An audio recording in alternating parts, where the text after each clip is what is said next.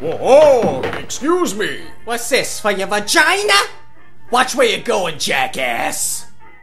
Thank you. It's not for my vagina, it's my deodorant. It's called Stop It. You're full of baloney. You think so? Think I'm full of baloney? That's what my wife said to me before she left. That bitch. She sounds like a real smart lady. Yeah. She always got mad at me for stealing her deodorant, but I can't help it. I love the smell of a woman, and something tells me you do too. I just spray this in the air a couple times, and it's like she never left. Oh, Angela! That's groovy.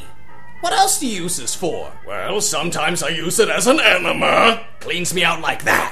You didn't use this one, did you? I don't think so, but you should wash it off just in case. I've been drinking a lot since the divorce. You're a funny guy. Oh, stop it!